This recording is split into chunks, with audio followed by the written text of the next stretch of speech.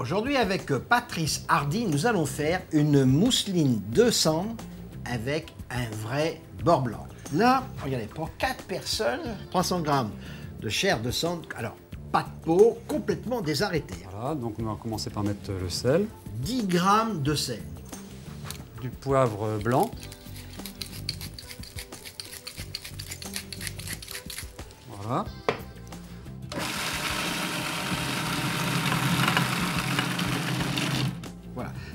Là, on commence par mixer la chair en premier, avec le sel et le poivre, avant d'y ajouter les œufs, les œufs entiers, 3 œufs entiers.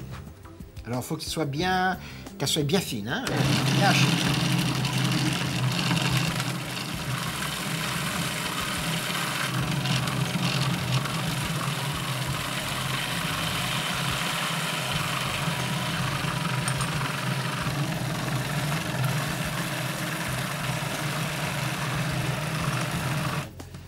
Alors vous avez remarqué, c'est très important d'ajouter les œufs un à un. Si on mettait les trois, bien sûr, ça ferait une mousseline déjà qui serait euh, toute molle. Là, regardez, elle est bien ferme. Et nous allons rajouter dessus un demi-litre de lait, de lait entier. Mais regardez, là, il faut l'ajouter également, c'est pareil, petit à petit. Regardez bien.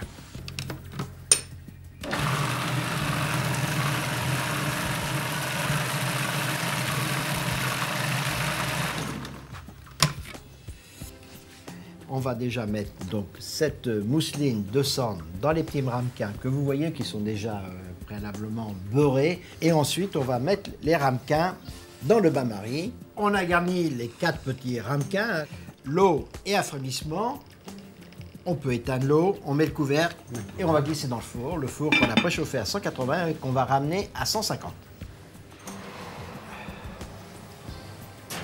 Voilà. On glisse. On rappelle le temps de cuisson 20 minutes de cuisson à 150 degrés. Là, nous avons trois échalotes, donc hachées finement. On va rajouter du vin blanc, Un blanc, vin blanc sec. Alors, on ne demande pas quel vin blanc, c'est non, de la région, un décilitre de vin blanc et là, un décilitre de vinaigre d'alcool blanc. Alors là, on va laisser réduire de combien Euh, pratiquement à sec. Presque à sec. Ouais. Alors, faut pas essayer de réduire trop vite, parce qu'autrement, si vous faites réduire trop vite, ça attache sur les beurres et ça apporte de l'amertume. Là, on voit bien, hein, ça réduit. hein. Allez, il reste deux cuillères à soupe encore de liquide. Et là, c'est bien. Et là, on a 200 grammes de beurre coupé en petits dés bien froids. Alors là, on en ajoute un tout petit peu. Est-ce qu'on laisse le feu un petit peu allumé dessous? Tout petit peu, et après Oui. on va le baisser pour Alors, démarrer. Très tiède. hein. Là, on le met en position 3. Voilà. Vous voyez Dès que le beurre est aux trois quarts fondu, incorporé à la sauce, eh ben on en ajoute d'autres.